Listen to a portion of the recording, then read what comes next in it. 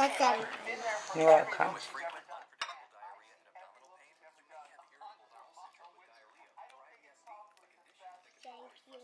You're welcome.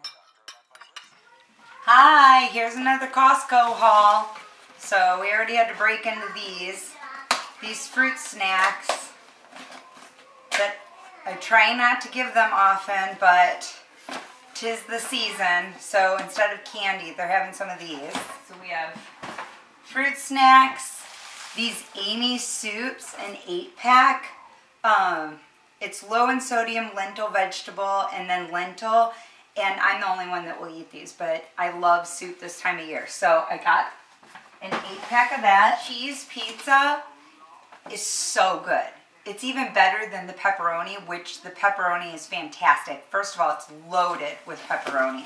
So I'm gonna put that in the garage. These cage-free eggs, we've been getting these. These are really, really good. That goes in the garage as well. Um, Another pumpkin pie because they are delicious. And I've been wanting this book. Let me get closer. The Night Before Christmas by Mary Engelbreth. Now she's a local um, artist an illustrator and I don't so I don't know if these would be like in let me know if you see these in your Costco. I get a Christmas book every year to add to the stack that I read to the kids. And so this is the Christmas book I got for this year. Pounds. So good. And my kids eat these with ranch like crazy. These Hershey simple syrups for chocolate milk. The three pack of the organic milk, and I'll put one in the garage. Well, I'll put them all in the garage except for one to keep in the fridge up here. Huge box of sun chips. Then these organic half and halves. We always get this. I put one in the garage, one in this fridge. Frozen chicken breast. I always get these. They're individually wrapped and they're great. Double A batteries. Usually get my batteries at Costco. Got a big package of the Little Smokies. These are actually the beef, but the kids like these so much in their school lunch. I got a big package, and I also got a two pack of barbecue sauce. So that'll be good for them for their thermos for lunch. Also got these garlic, roasted garlic uh, kielbasas. I thought that would be really good with beans and rice or um, a pasta pack of the sausage links. I make this, I make a whole package basically like every morning uh, with breakfast. Mateo salsa. We went through almost this whole jar on just Thanksgiving Day. It is so good. It's so good on eggs and on chips. So we forgot to get tortilla chips. Yeah, this is a sample, this Korean barbecue. It's uh, fire grilled pork jerky. It is really good and it's not too chewy, like hard to chew. So we got these for our older kids and they're good. They're really tasty. A big thing of the Kleenex because it's that time again. So just stocked up on that. And speaking of which, we always get our Selecta-size paper towels from them. The Kirkland, I like this. It, they work great. Um, avocados. Now from our, we went to Costco already um, and I didn't do a haul the last time, but the kids have been loving this. And then we just buy a bag of the small marshmallows, the mini marshmallows to put in it, but this is great and they sell it there. We also got a couple fun things. I love this movie, The Seven Samurai by Akira Kurosawa. We got this, uh, $20. This is an excellent movie. If you haven't seen this, I highly suggest it. Also, actually watching right now, we have the other Christmas classics set that we got years ago at Costco, but we got this classic Christmas favorites. Um, it was $17. And then we also got this huge dog bed that's really nice. And I was actually going to get like this type or this of a throw blanket and matching pillows for the couch for winter. But the only ones that I've seen have been really expensive. So if you see any deals on this sort of like a fake um, fur throws and matching pillows, let me know. It has the ability to take the cover off and wash it. It's huge. It is so comfortable. It's like chenille on this side. And it was $25, which I think is a great deal. Both puppies like take up this much room of it. So it's perfect for both of them for right now. Okay, now I'm in the garage for the top secret. Two of these will be waiting in front of the Christmas tree with a bow on it. Aren't those cute tricycles?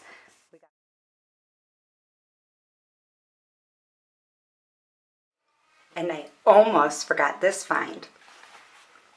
This luxury spa bath rug.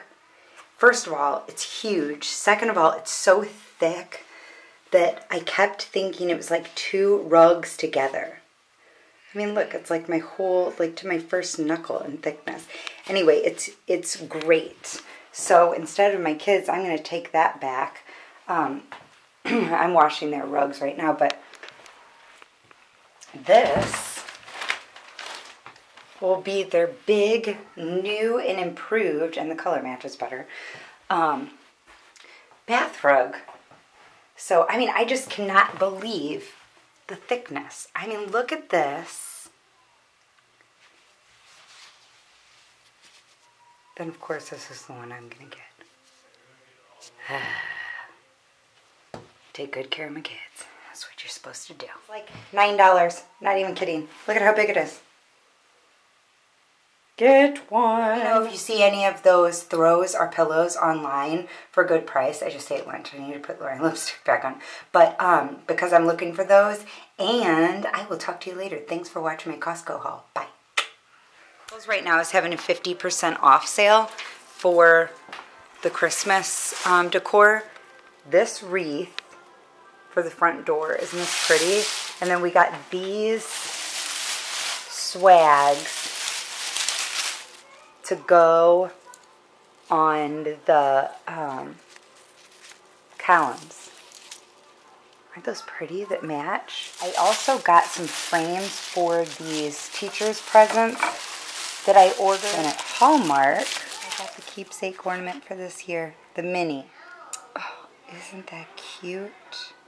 And it says Christmas carols. It's so small on the book but I'll put that with the others. 2013, 2014, 2015, 2016. So cute. I'm going to try to make this recipe, which normally takes like two days. And I am going to try to just braise it and do it. So this is what I'm going to do. Follow along. I have to... Um, go pick up a couple of my kids from school in just a minute. So I'm going to try to get this going. So first I'm going to put, um, you know, cooking spray in the pan, of course, from Costco. And then I am going to take beef stew meat, this Angus stew meat, and I am going to brown it in here. Okay.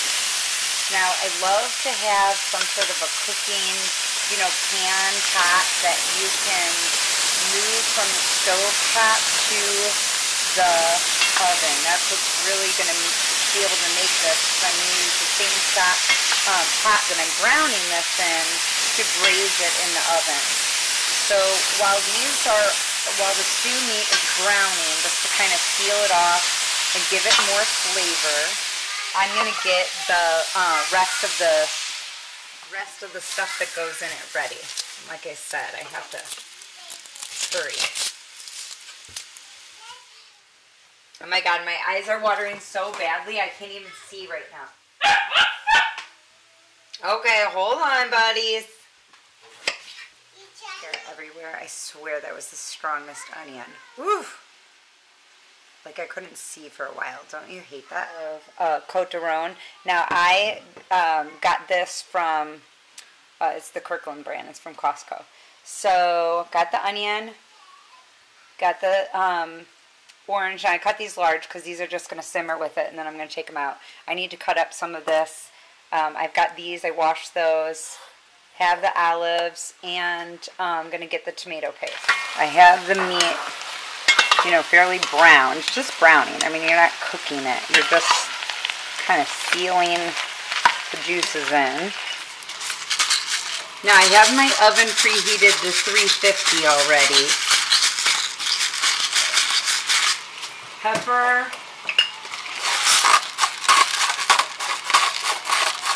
salt.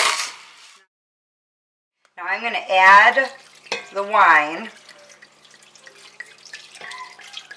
Not all of it. I'm going to add carrots, can of tomato paste, an entire can of black olives, pitted, garlic, entire white onion. I'm going to add some water and, well, maybe a little bit more wine.